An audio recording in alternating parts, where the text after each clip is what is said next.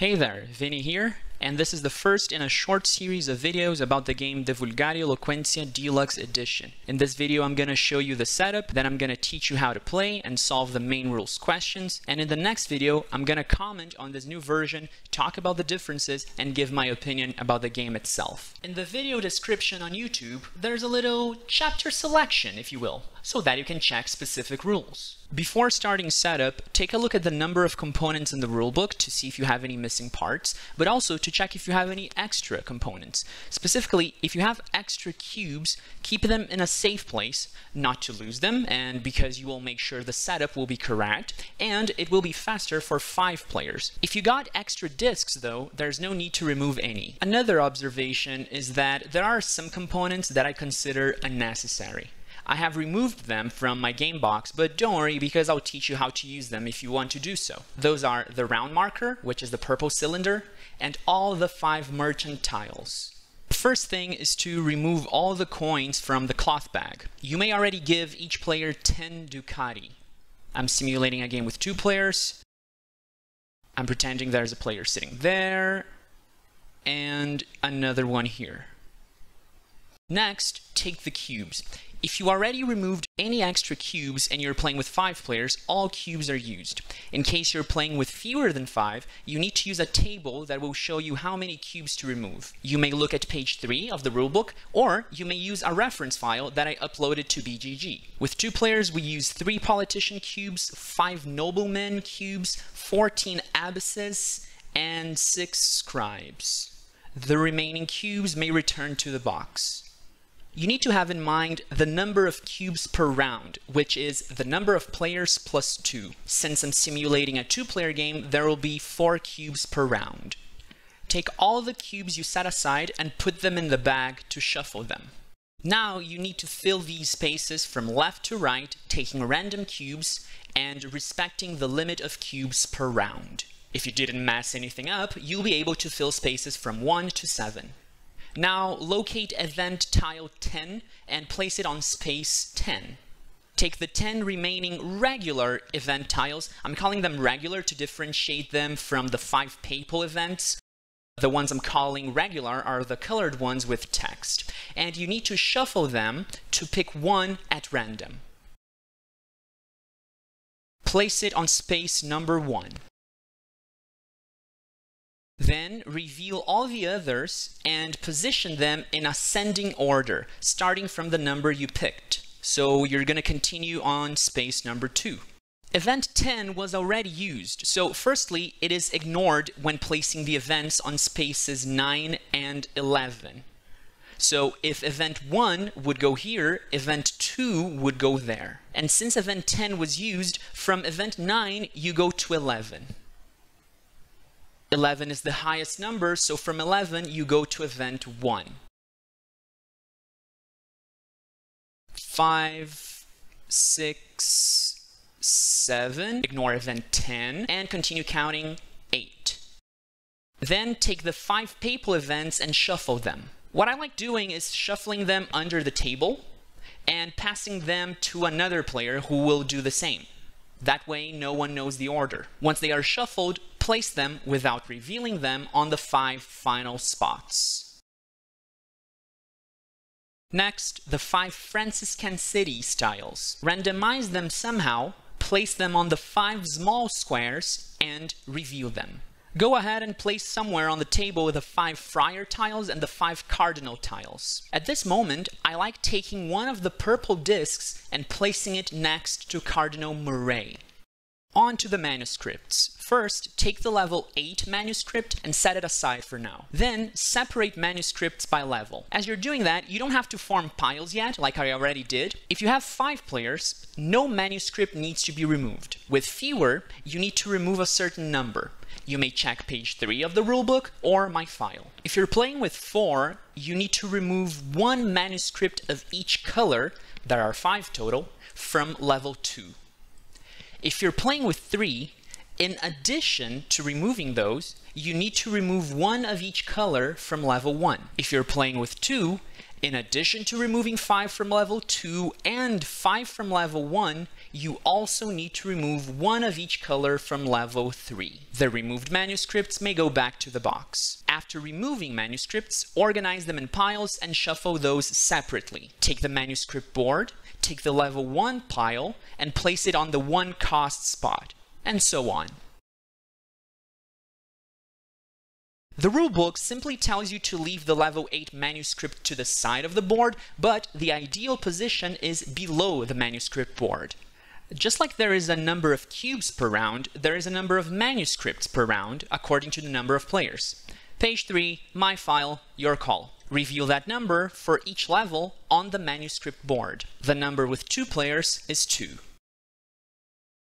One thing that I always like to do when I'm teaching a game is to ignore a rule, an action, for the first round or first two rounds. In De Vulgari Eloquentia, there's so much going on that, aside from doing that, I remove an action for the whole match. That would be the papal library. Do that if you wish. Either way, preparation for this action would be shuffling the 10 library tiles and placing them on the corresponding place on the main board. Take the first event tile, the one you picked at random, and place it in the correct city. At this point, you would use the round marker, putting it here, replacing the event tile. Each player picks a color, give a player all the discs of his or her color, plus the three meeples of that color. You would also give them a random merchant tile, the ones that I find useless. Randomize the order of every player take a disk from the first player and place it on the leftmost space on the player order track, followed by the other players in the order randomized.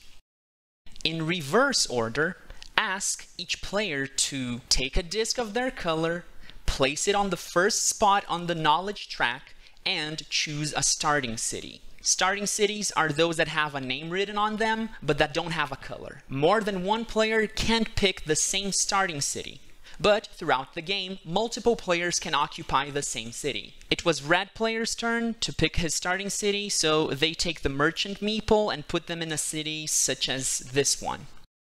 Then it'd be black's turn to do the same, so they take a disc, put them on top of existing discs, forming a pile, and place their merchant in a starting city. Give each player a shield.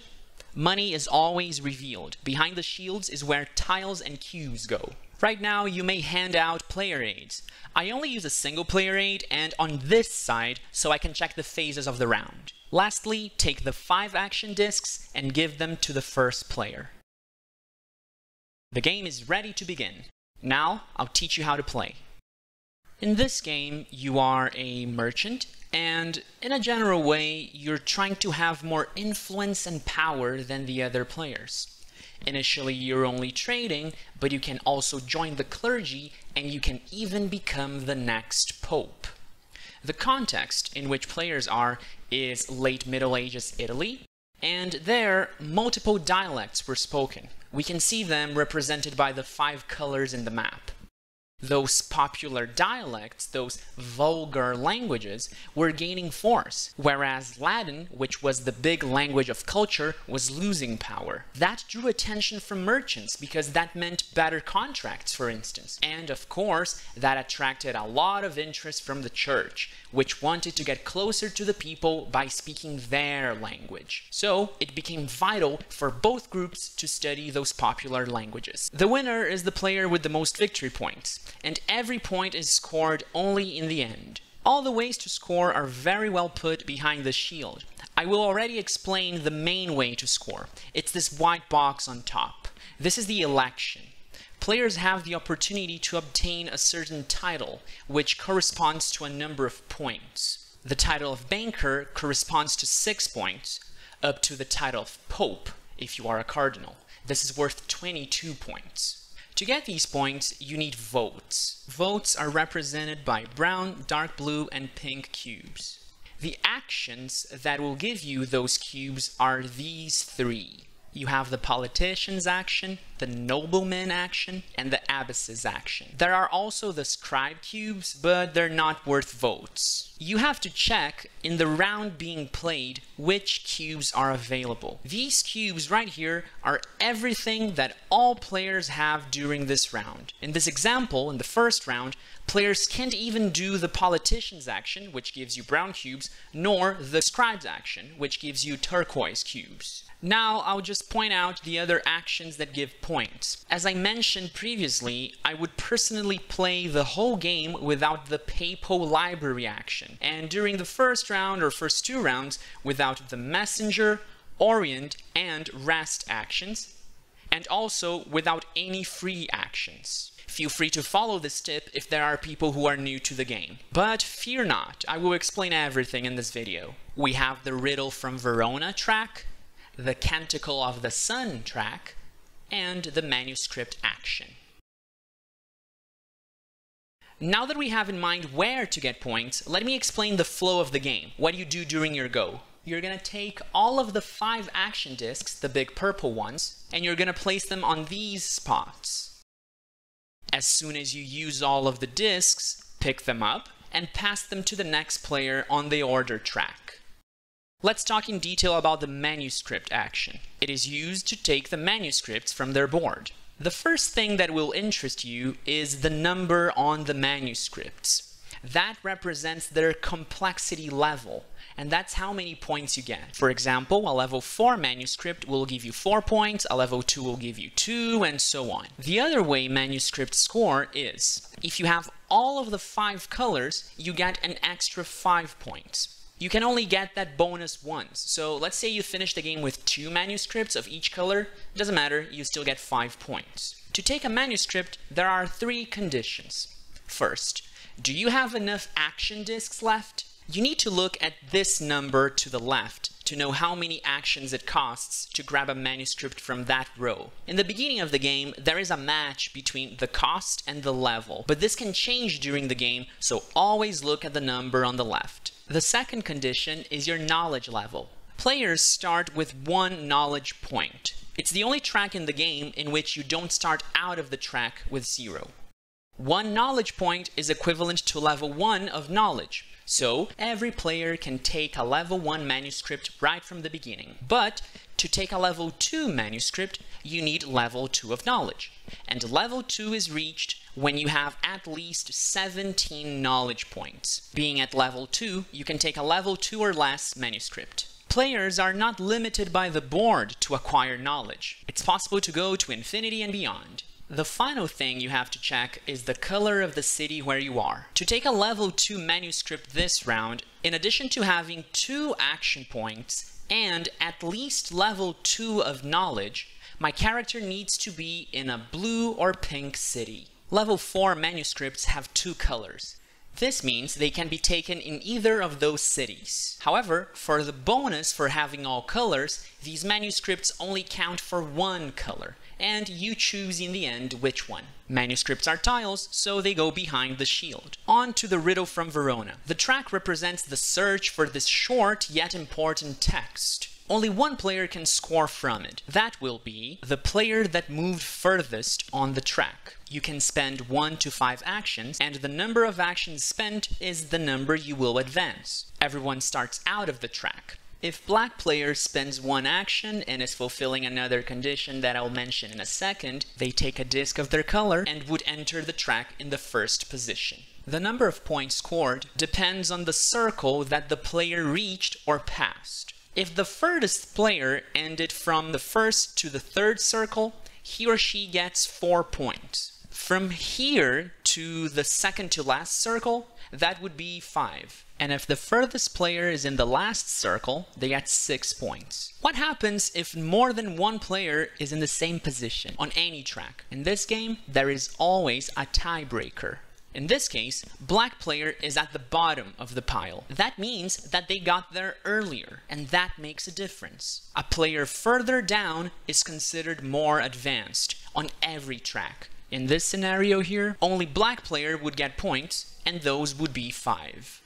To advance in the riddle, aside from having actions, you have to be in a blue city. Let's talk about the Canticle of the Sun. This is a song written in a dialect by St. Francis of Assisi. Here, two players can discover this text and score. The one furthest on the track gets 9 points, and the second one gets 6. You only have the right to score if you entered the track. If only red entered the track, black can't be considered second place because he or she didn't join the competition. You can also spend from 1 to 5 actions, but you also have to discard one pink cube for each action that you decide to spend.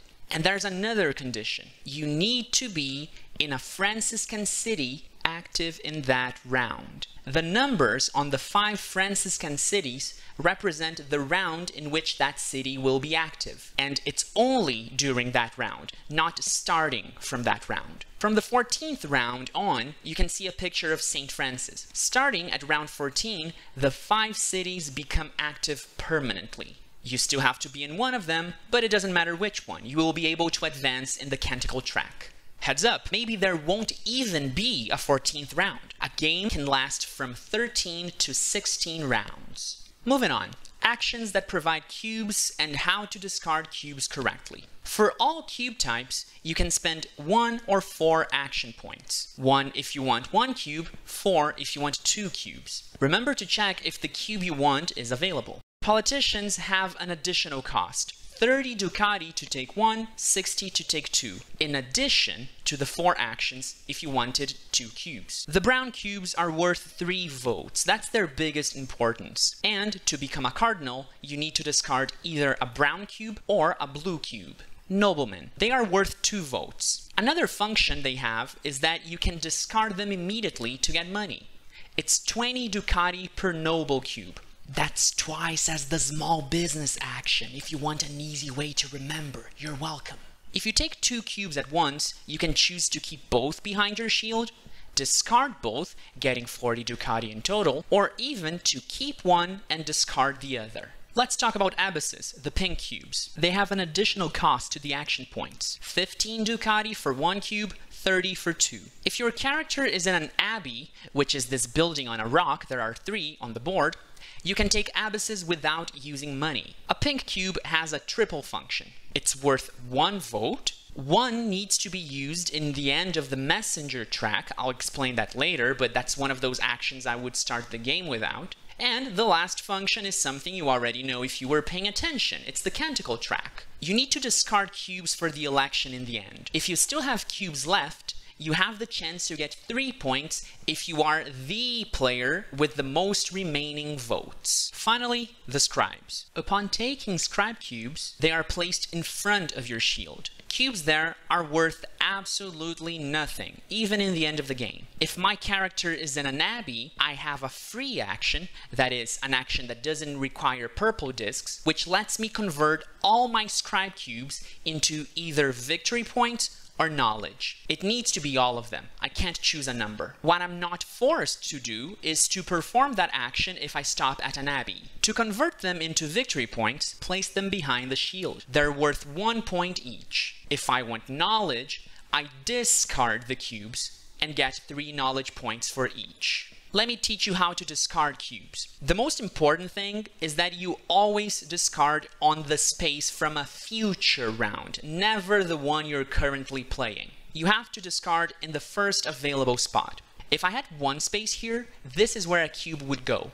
I'm out of room here now because I have a limit of four cubes in my two-player game. So I keep occupying the next space. But always check the leftmost space you have. Next up, some actions that are not worth points directly, starting with the small business. It's very simple. You can be anywhere on the map, you spend exactly one action disc, and you get 10 Ducati, even if you're a member of the clergy. Next to that, we have the Psalter action.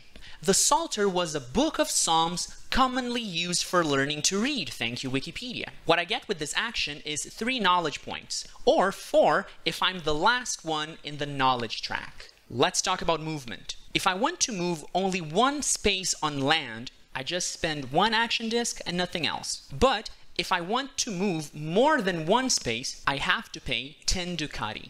I don't pay for each additional disk. It's 10 if my movement required more than one disk. It's possible to move between harbors of the same sea. The cities with harbors are those with the anchor symbol. Sea movement requires three discs. I'm spending more than one, so I also need to pay 10 ducati. I could move from here to here because they are cities with harbors in the same sea. You can even combine the two types of movement during the same go. I could make one movement to here, then I could move by sea. I could go all the way up there, spending three more. And from here, I could keep moving and move one more.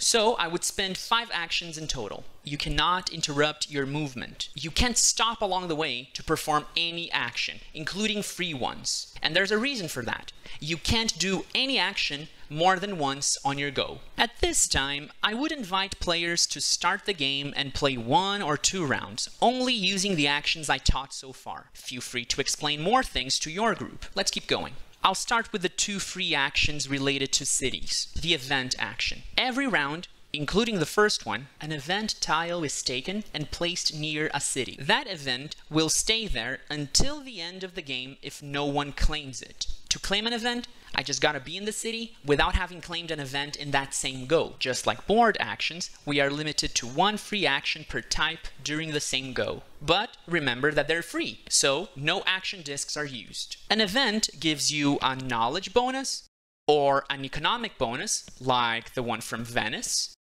or it can give you both, like number 11 here. In this case, I would advance immediately 8 spaces on the knowledge track, and I would flip the tile.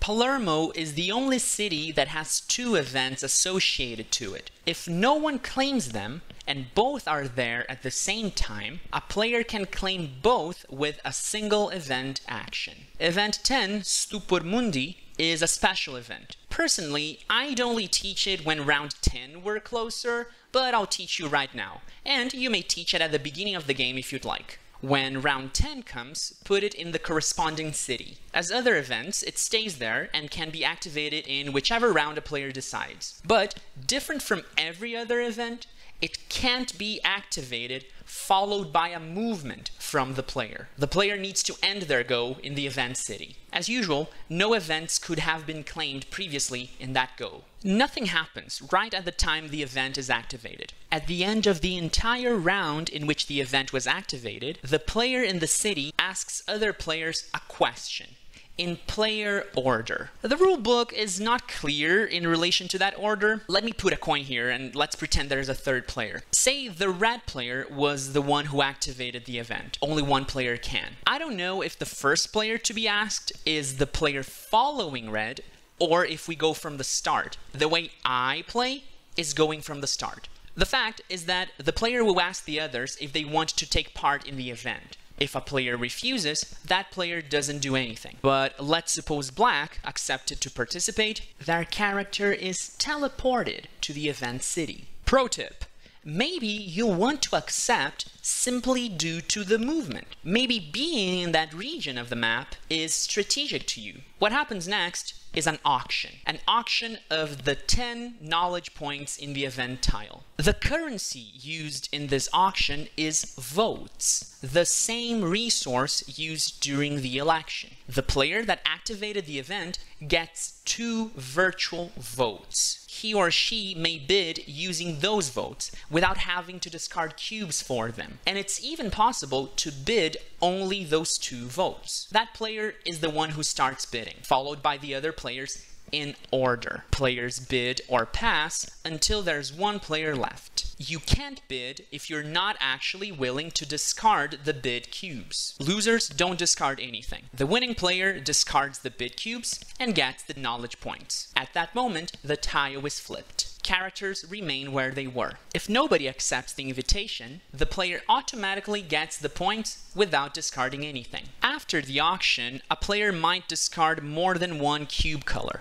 I'll show you how discarding works in this case. The same logic is followed. Discard in the first available future spot, but there's an order discard. It's the order we see here. First politicians, then noblemen, and so on. Say I won the auction with this bid of 9 votes. I would have to discard all of these cubes. And it goes like this. First, I discard the politician. I had room here. I would keep discarding here, but now I have no room anymore. Then the nobleman. Then the abbesses. I can only discard three of them here, so the one left is placed in the following round's space. A second important free action is city bonuses. Some cities have this circle, and they have money, knowledge, or both. Before or after your movement, you may take a disc of your color and place it on the city. You will immediately get what is shown. Different players may obtain the same city bonus. Remember that during your go, you may only get one city bonus. If I'm in a city that has an event and that doesn't have one of my discs yet, during my go, I may perform both free actions in it. It's important to first learn the city bonus free action in order to understand the next two board actions. Starting with the messenger. It's similar to other tracks. You place discs to progress. The difference is that being in a specific region is not required. Your goal here is to reach the last space. This red circle is a space. Therefore, you need a total of 8 actions throughout the game. If you don't reach the final circle, you don't get anything with this track. There's also this cost. I know it's on the second to last circle, but this is the cost to move from here to here. You still need to pay 1 pink cube and 10 ducati. By reaching the final circle, you were accepted at the University of Bologna. To study at the university, you need to do the free action of leaving your disc there. You can do that if you didn't leave a disc on the same go. That city bonus is only available for players who completed the track. However, the event of Bologna may be taken by any player who stopped there. You will get 15 knowledge points if you leave your disc from the first to the seventh round, or 10 if you leave your disc from the eighth round on. Let me just emphasize, it's the round you leave your disc in the city, not the round you were accepted. Studying at the university has a second perk, that the board, as well as the shield, remind us. You get one point for each city that you visited that gave you knowledge. Only in the end do we count every disc in cities that gave knowledge. For instance, Venice isn't a city we would consider as it only gives money. Rome gives both money and knowledge, so it counts. We also include Bologna itself. Remember, you only have the right to those victory points if you were able to visit Bologna. Let me talk about the Orient action. Pretty similar to the messenger. Your goal is to get to the red circle, and you could be anywhere on the map. When you reach the end, first of all, this represents that you're an awesome merchant. Congrats! And you immediately get 10 Ducati for each city that you already visited that gave you money. Also, a player who completes the Orient track gets in the end one point for each harbor city visited. I'm gonna repeat this when I explain friars and cardinals, but if you're a clergy member, you can't even advance in the Orient track, and you can only get the points if you remained a merchant. We're almost done, don't give up. Now the papal library, right here the one I like removing if there are people playing the game for the first time. You don't have to use it immediately, even because you could keep progressing, but as soon as you reach a number, you unlocked a free action. The action to look at a certain number of tiles and keep one, regardless of how many you look. These papal books contain victory points from 2 to 4. The number you look is the number you reached. If I reached number 2, I could look at the first two in secret, then the chosen one goes behind the shield. All the others go to the bottom of the pile. I have to remove entirely my disc from the track. I may advance again and draw more from the library later, but there's a limit to how many tiles you can keep. It's your knowledge level. Let's suppose I had these two here and my level were 2. I could draw a new one and discard this old one in secret, it would go to the bottom of the pile. The other benefit is this symbol right here. It is used as a wildcard for a manuscript of any color. Comes in handy for that sweet 5 point bonus. Rest action now. At the beginning of a new round, the last thing you do before the action phase is to define the new player order. That order is the reverse order of the knowledge track. From round 1 to round 2, if no one acquires knowledge, the player picked to be first will continue to be first, as his or her disc is placed on top. Well, what is the rest action used for? The player furthest on the track will be the first player of the next round. Only for the other players is knowledge checked. You remain here throughout the game. You just can't go beyond the fifth space. So we see who's furthest. Let me give you another example so we can remember a rule. Black player is still ahead. That disc is removed. It returns to the player's stock. And that player will necessarily be the first. The other discs stay where they were. And finally, the last two actions, which are free actions. To become a friar, you have to be at a convent. It's this square building. And you have to give the bank half of your money rounded up to the next multiple of 5, as coins start at 5. If you have 0 Ducati, you may become friar without paying. Replace your merchant meeple by your friar meeple. Also, select one of the friar tiles. Each one has a different power. At this point, you would also discard your merchant tile if you were stubborn and decided to play with those. It's also possible to become cardinal. To do so, you gotta be a friar, and you have to stop at a cathedral.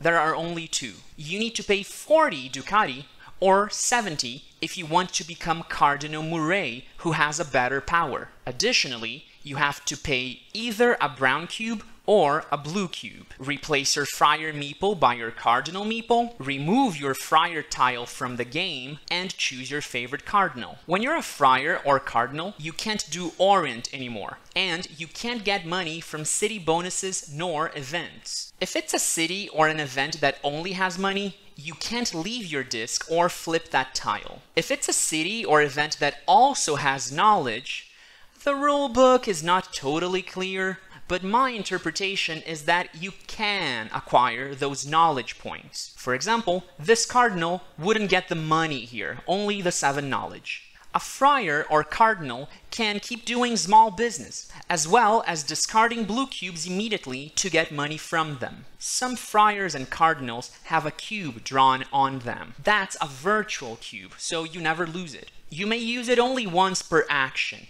but you may use it many times on the same go, including Stupor Mundi, the election, and the chance to get 3 points for most remaining votes. This friar has a virtual blue cube.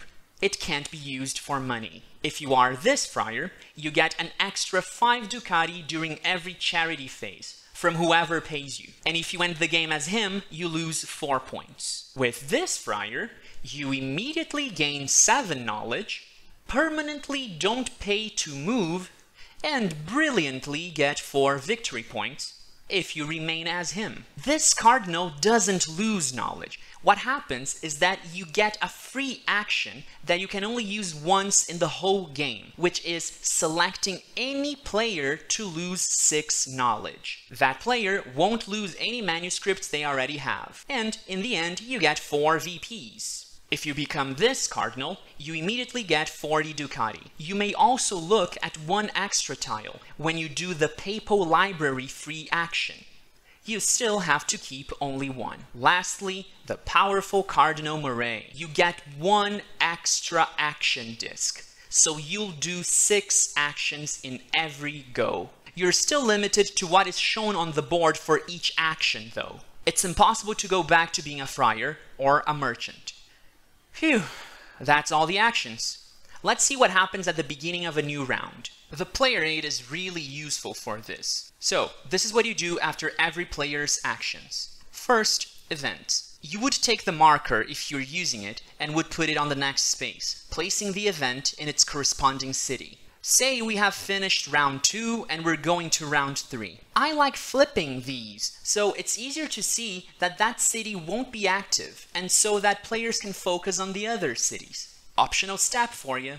After events, the cubes. Take every cube from the round you just played and discard them exactly the way I already showed you. Let's suppose I'm about to start round 11. I would have to discard every cube from round 10 in the next available spot. If I run out of round spaces, I could remove the cubes from the board or just keep them where they were. Doesn't matter. Nothing special is done when the board is over. Next step, manuscripts. Remember, don't do any of these things while a round is being played. Check if you need to refill any spaces so that you will have on the board the number of manuscripts per round depending on the number of players. Then check if any row is completely depleted, including its pile. If that's the case, every manuscript will move up.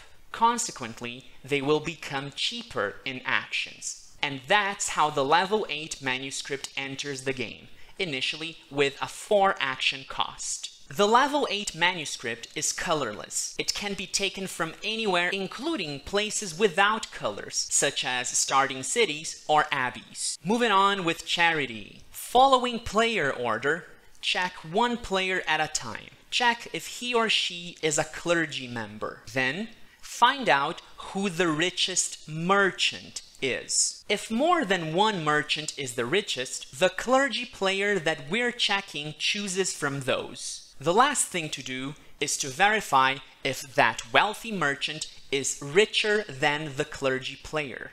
If these criteria are met, charity happens from the merchant to the clergy member. The merchant pays 5 if the clergy player is a friar, or 10 if he or she is a cardinal. If there is no richer merchant, or if every player belongs to the clergy, charity to the player we're checking comes from the bank. The amount paid is the same. I emphasized a lot the fact that you check one player at a time because the richest merchant is the richest one at that instant. The rulebook has an interesting example of how the richest merchant may change as players pay charity, so you may want to check that out if you're confused. From the 12th round on, which is when papal events start, the charity step doesn't happen anymore. The final step before actions is player order, and I already explained that. Check if there is anyone on the rest track, and the others will be placed in reverse order of the knowledge track. The round in which the second red tile is revealed will be the last round. It is played like any other, the only difference being that all players are moved to Rome in the start of the round. Game over, time to tally points. The shield is the perfect reminder. Start with the election. Once again, players have to discard the cubes to get votes. Don't worry too much about the title. Uh, I saw a question once on BGG saying, if I become banker, do I stop being a merchant? Do I lose the right to score for the Orient, for example? No, you are the meeple that you have. Many players can obtain the same bonus with the exception of the Pope bonus. If more than one cardinal has 17 votes, only the one with the higher knowledge can become pope. Knowledge is a tiebreaker for everything. And don't forget the position of the discs. If a cardinal accumulated 17 votes but can't become pope, he doesn't have to discard them. He can just discard 11 to become Camerlengo.